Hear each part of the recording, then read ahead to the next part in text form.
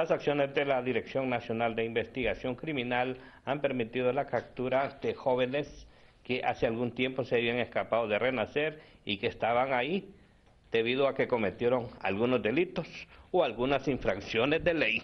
Se ha realizado un operativo en la colonia eh, Rosa Linda de Comayagüela donde se han eh, recapturado en primera instancia dos menores que se habían fugado el año anterior del centro de Nacer. Por lo tanto van a ser enviados al mismo por eh, previo presentación al juzgado por la infracción penal de evasión. Además en esa oportunidad cuando se fugaron ellos tenían una orden de captura pendiente por el delito de aportación ilegal de armas. En ese sentido ellos tendrán que también eh, seguir esta causa en su contra.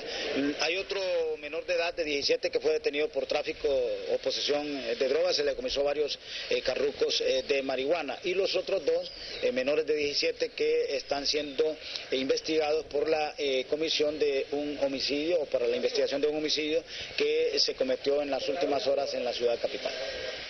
Porque cuando noticias se trata, Canal 6 siempre es primero. Desde Tegucigalpa les informó Jorge Juan.